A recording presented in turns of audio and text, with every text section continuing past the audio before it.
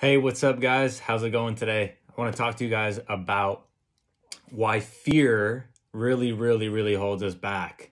And uh, I want to show you guys an infographic from the uh, National Institute for Clinical Application of Behavioral Medicine. So I signed up for a course with them to further my education, which I encourage everybody to do. Spend, you know, some money on simple online education. There's, you know, there's great videos on YouTube but there's also like very beneficial information where you can actually get like credits and stuff, which is pretty cool. And uh, I, I, I, like to check out the National Institute for Clinical Application Application of Behavioral Medicine, and I signed up for one of their courses about trauma, and they sent a little infographic, and it's really cool. I'm gonna show you guys here, and we'll talk about it. So check this out, and on this, it talks about the reptilian brain, the mammalian brain, and the primate human brain. And um, the reptilian brain, obviously, you know, we think of reptiles. The, the mammalian brain is kind of like a mouse brain, and then the primate brain is the is the um, the monkey brain. And if you look at the brain there, it shows that the reptilian brain, and that's where our survival and maintenance um, responsibilities go to. And this is where we, when we are stuck in fear, we can't use the rest of our brain. You notice you're just stuck in the brainstem. And so we're not expanding into our, our outer parts of our brain, like where we can really get into performance and like higher mental functions. So the core functions of this reptilian brain is regulating heartbeat, breathing, and other vital organs. So you understand that when you have an anxiety attack or when you have this fear that brings you to this point where you just can't breathe. It's because you're stuck in the brainstem, you're stuck in the mammalian brain, and, or I mean, the reptilian brain. And it's a very, uh, it's the most ancient part of the brain. You know, obviously we grew from there.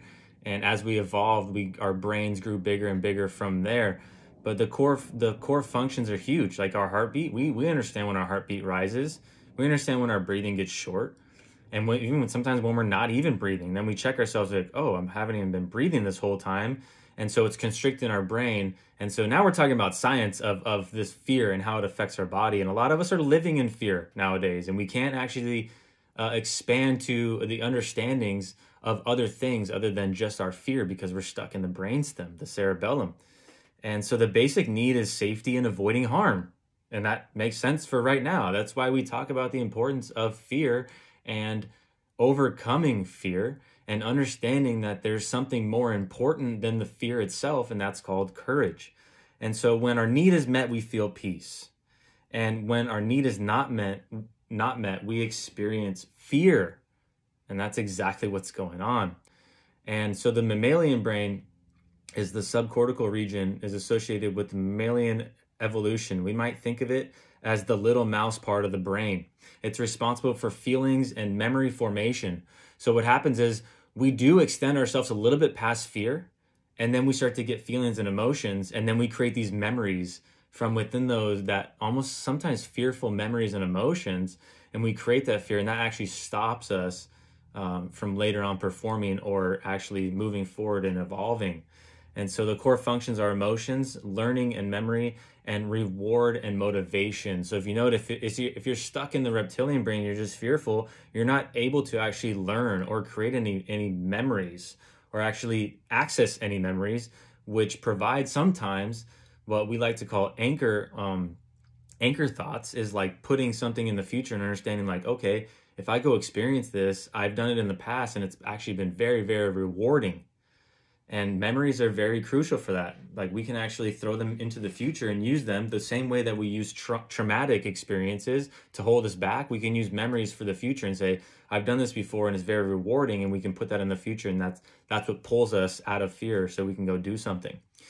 Uh, the basic need is satisfaction and approaching rewards. So if we don't have anything to look forward to, we get stuck back in the in the reptilian brain, the brainstem, and that's what's happening with a lot of our youth right now. Is there's nothing for um, especially these some of these athletes they've always had some, a season to look forward to um, and even people that don't play sports there always is something to look forward to extracurricular activities or sometimes people just like going to school and look they look forward to seeing their friends so this is very like it's very tolling on our brains right now And the basic need is satisfaction, approach, and reward. And when our need is met, we feel contentment. And when our when our need is not met, we experience frustration. So, have you ever been frustrated? Probably because you're outside of that fear, but you're stuck in that mammalian brain, and your and your your need is not met, and so we get frustrated, we get angry, and um, then we actually put that into the experience, and we get we, we take it out on other people and ourselves too, and then we move up to the primate human brain. So check that out. That's our we're maximizing our brain at this point. And uh, I know we we love talking about science these days, and science is is really proving itself and disproving itself constantly. And uh, that's why I look like looking at these charts and making sense of them because we talk about fear a lot these days. And when you're in fear, it's like it's described here that you're when you're fearful, you're stuck in the reptilian brain, in that fearful, that brainstem, and you're not able to use the rest of your brain for cognition and and higher mental functions and simply just kind of like living in gratitude and, and just living your life. Um, just living your life free and, and grateful and connecting in the moment. And so it's responsible for higher mental functions. Um, the core functions of this human brain this this monkey brain um, is regulating attention, feelings and desires, complex reasoning, abstract thoughts, imagination, language, and empathy. So that's a lot of functions there that this this you know this primate brain actually is used for.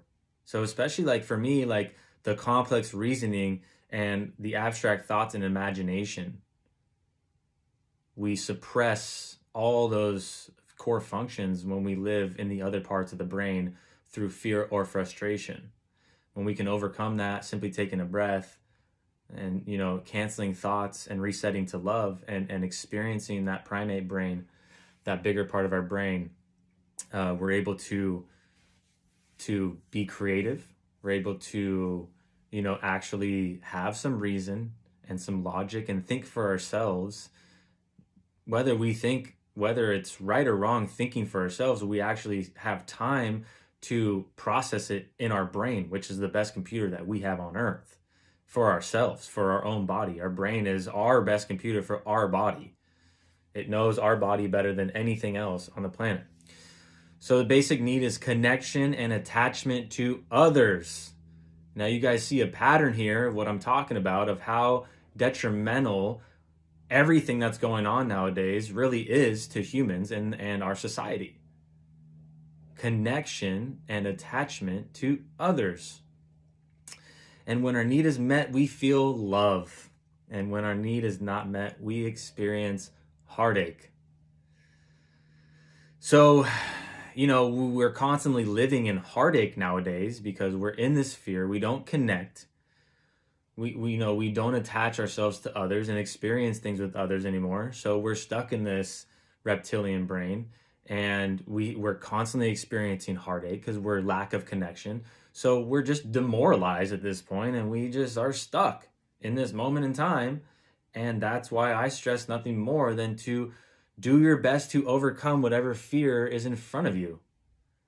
And remember, courage is simply just the understanding that that something is more important than the fear itself that's holding you back.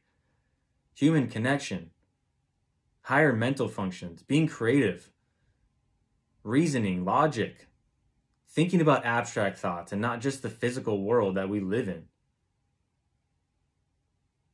Regulating attention,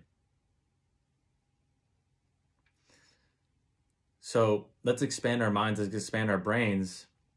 And thank you to the National Institute for Clinical Application of Behavioral Medicine for giving us this little infographic.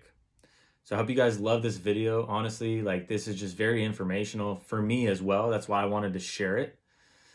And, um, you know, rewatch this and, and take a screenshot of that infographic because it's very, very, very like knowledgeable and it just kind of like makes sense the more and more you think about how you go about your day and how you're when you're experiencing fear and when you're experiencing love and when you're experiencing all these things going about your day. And then you you start to understand like when you're scared and you recognize and you're aware of it then you start to understand okay i'm only using a third of my brain not even actually. I'm just stuck in the brain stem right there in the cerebellum. So understand that.